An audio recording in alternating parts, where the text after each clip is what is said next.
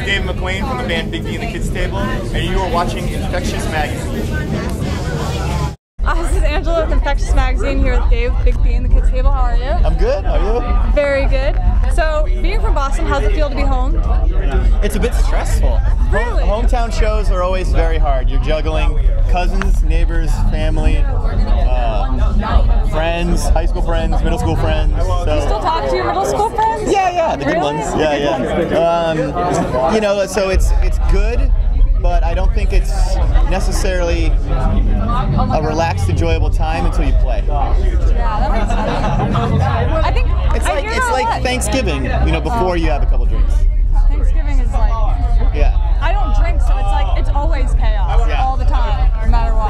everybody shows up like at different times.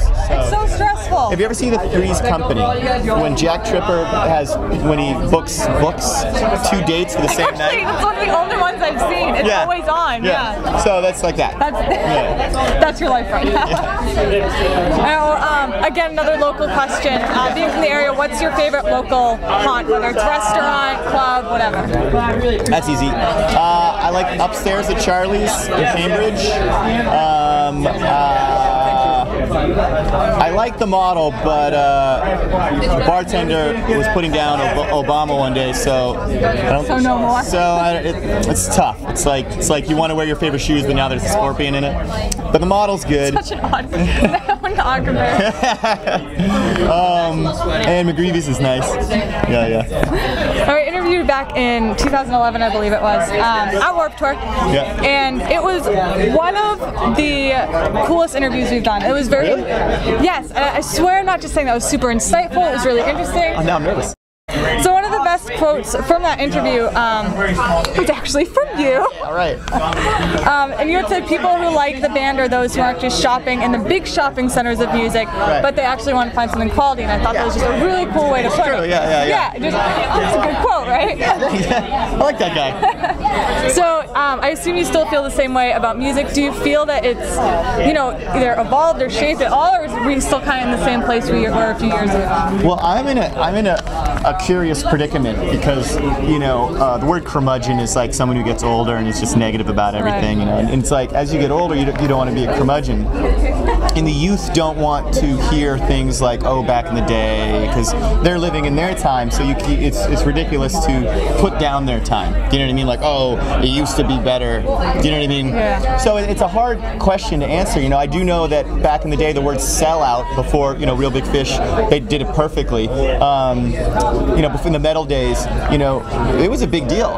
But now it's like uh, commercials and bands go in tow.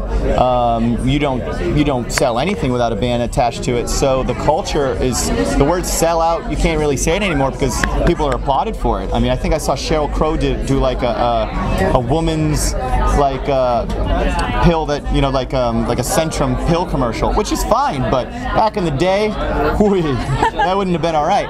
So I mean, I just I just feel bad for the generation right now because um, I think big business has completely jarred. I do believe it's Big Brother and they're really being controlled, and you know they don't they don't even have MTV anymore. I mean, they, it's like it's there's it- it's it's less organic and it's more it's more you like songs because they play it so many times that you're really more recognizing the song and you're proud of yourself to recognizing it and you misconstrue that of liking it.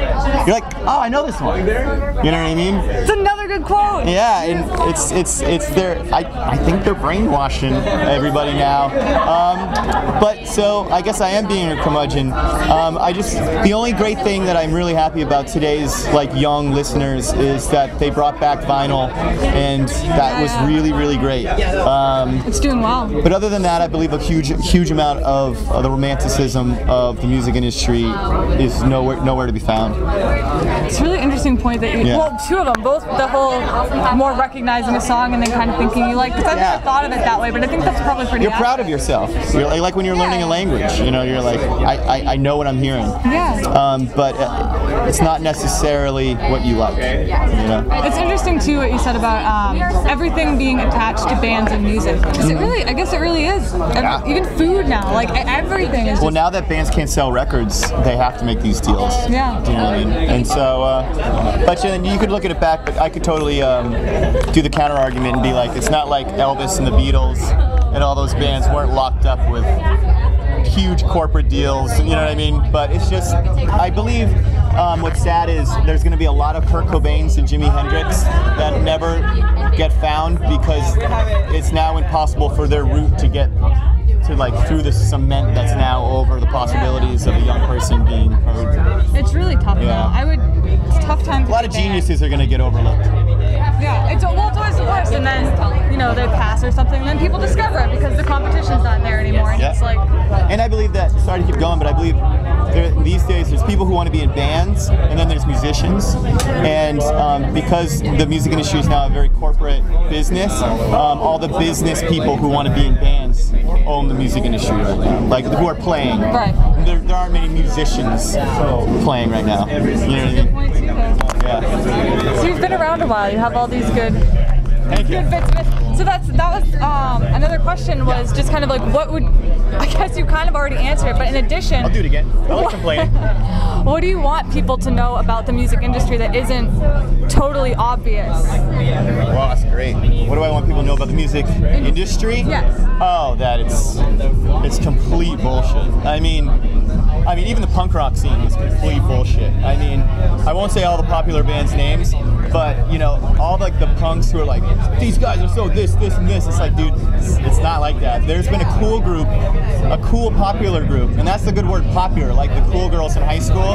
There's a cool group, popular group in the punk rock scene, and they don't let people in, and and they're like the Heathers. I don't know if you ever saw that movie, but um, I want to. yeah, it's on my list. Yeah, and it's it's just um, it's clicky, but you know, I uh, I don't live my life that way. You know, like I don't mind finishing laughs that means my gravestone said he's a nice guy, and uh, you know, I would just say that you really just gotta love songs. You really just gotta love um, what you're doing because once you get past that, like you got to get on a label, you got to start touring. Once you succeed in that, and most of people out there will succeed, just got to know it's going to change, and you're just going to you're going to start going, oh, this is BS. That's crap. That promoter is doing that to that band, and that band won't take that band on tour because he's not paying that much, and the record label won't repress our CDs because blah blah blah is now really popular, and they won't return the calls it's life. It's, it's I, I know I'm so negative, but I mean, if if I was gonna say they should be prepared for that, and that's why you should make sure the band that you're in is the band that you like, because the only good part about it is playing music. Back to the roots. Yeah, or talking to fan uh, listeners that are really nice. That's nice. What is on your bucket list? Bucket list. Uh, I've done everything. Uh, on. uh, yeah. uh, you know, like I wanted to be in a band that's kind of like Operation Ivy. That was one of them, and I kind of am. And then I had the skydiving, scuba diving thing. That was good. I wanted to see a girl naked. Took care of that. Um, yeah, that was awesome. Um, other than that, you know, I just want to have way too many cats and eventually kids. Oh, and I got to Japan and China. That was a big one. Oh yeah? Yeah, yeah. How was it? Uh, yeah, Japan is full of the most polite people in the world, and China is uh, full of very aggressive people that like to push. but I love both of them.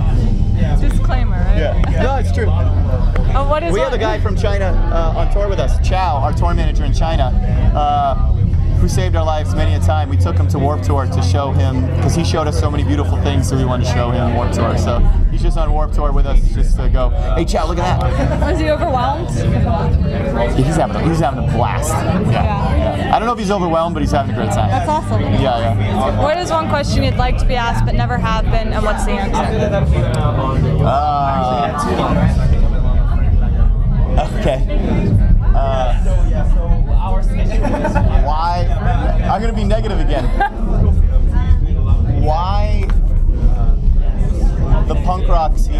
So clicky and totally the opposite of why everyone goes into it and why and what is it about Big D and the Kids Table that will not let all the the well-known name bands give us a chance. That's a long one. Yeah, and and I think the answer is just like I actually don't know the answer. I, I just, uh, but I have to admit, if you're going to be in a punk rock band and if the punk rock scene doesn't accept you, you're doing something right. You know what I mean? Yeah. To be more punk rock than the scene is awesome.